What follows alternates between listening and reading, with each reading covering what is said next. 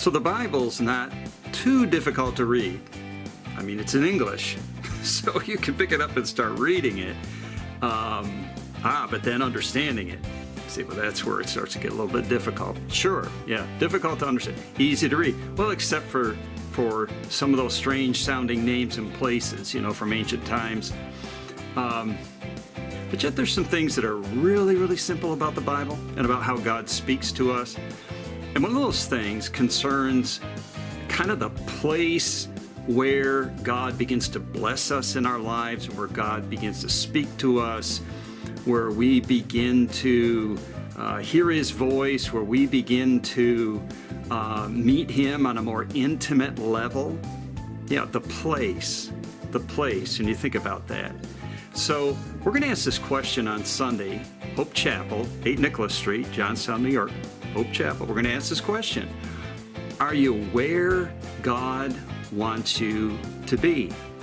Uh, I guess it's kind of common today we say, I'm not in a very good place, or or I'm in a good place. You know, generally we mean, you know, we, we're doing okay emotionally, financially, physically, something like that. So, so I'm in a good place, but are you in a good place where God is concerned?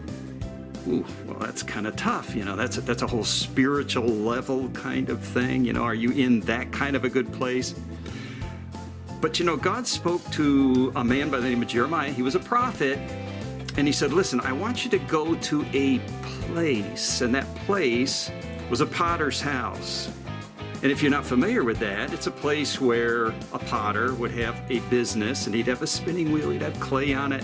He'd be, you know, molding and shaping that clay with his hands to get it just right, very purposefully, an intention for putting that clay up on that wheel. He's going to make something.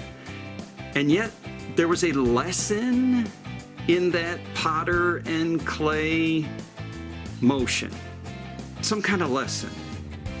And God said, Jeremiah, I need you to go there, and there I will speak to you. I'll teach you something. I'll give you a lesson. Then you're going to pass that lesson along. And this is how God works. You know, there's there's all kinds of places we can pray, we can read the word.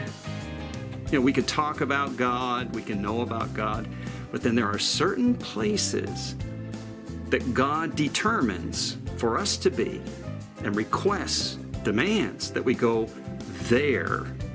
And He speaks to us. He has something special for us. I mean, that's kind of exciting, isn't it? To know that God cares about it, loves us, that He has something special to reveal to us in certain places. He said, Jeremiah, go there. Go anywhere you want, Jeremiah. Go anywhere you want. It's free. You're free.